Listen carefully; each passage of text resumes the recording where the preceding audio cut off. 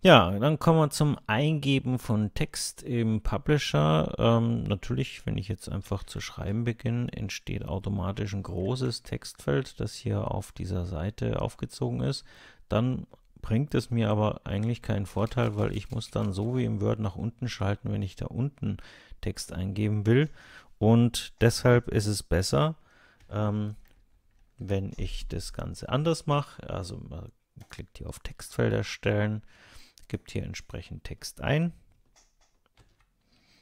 und der ist da entsprechend drin. Man kann diesen Text auch entsprechend äh, formatieren, so wie man es aus Word äh, gewohnt ist.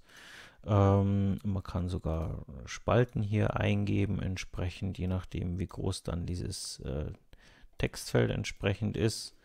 Und ähm, man kann sogar hergehen und sagen, wenn dieses eine Textfeld zu klein wäre, ich mache mal das hier kleiner, dann entstehen an den Rändern rote Punkte und Kästchen. Das ist praktisch der Hinweis, dass dieser Text hier äh, da unten verschwunden ist. Da ist noch Text drin, der nicht sichtbar ist.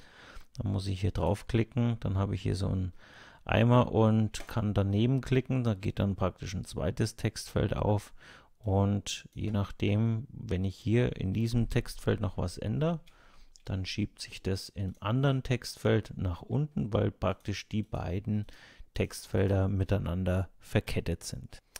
Ja, was kann ich noch machen? Ich kann unter Ansicht zum Beispiel die, das Grundlinienraster noch einstellen. Das hat dann den Vorteil, wenn ich jetzt ähm, nebeneinander Textfelder habe, ähm, kann ich hergehen und sagen, hier bei den ähm, Zeilenabständen an Grundlinie ausrichten. Und jetzt habe ich den Text hier an der Grundlinie ausgerichtet. Das mache ich hier in dem Textfeld auch. An den Grundlinien ausrichten. Und wenn ich jetzt die nebeneinander schiebe, dann habe ich den Vorteil, dass dieser Text in zwei verschiedenen Textfeldern genau auf der gleichen Höhe ausgerichtet ist. Es sieht einfach viel besser aus. Ja, ähm, ich kann so ein Textfeld ich mache mal das hier schnell mal wieder weg, Grundlinien. Ich kann so ein Textfeld auch entsprechend einfärben mit einem Fülleffekt. Wenn ich aber dahinter zum Beispiel äh, ein Bild oder eine Form habe, dazu muss ich natürlich hier rausgehen. Also irgendeine Form, dem Smiley, ähm, in einer anderen Farbe und natürlich hinten. So, und ich möchte, dass das so ein bisschen durchscheint, dann kann ich hier entsprechende Ta Transparenz äh, einstellen, indem ich hier mit einem Rechtsklick auf dieses Textfeld draufgehe. Wie gesagt, es muss eine Farbe zugewiesen worden sein. Dann kann ich sagen Textfeld formatieren und ich kann jetzt hergehen und bei der Transparenz das Ganze ein bisschen erhöhen.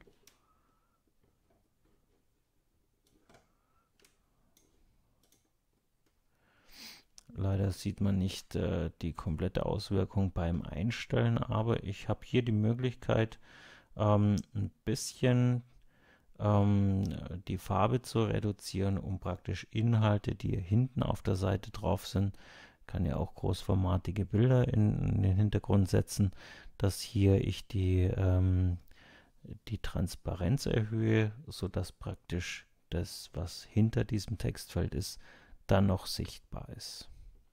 Okay,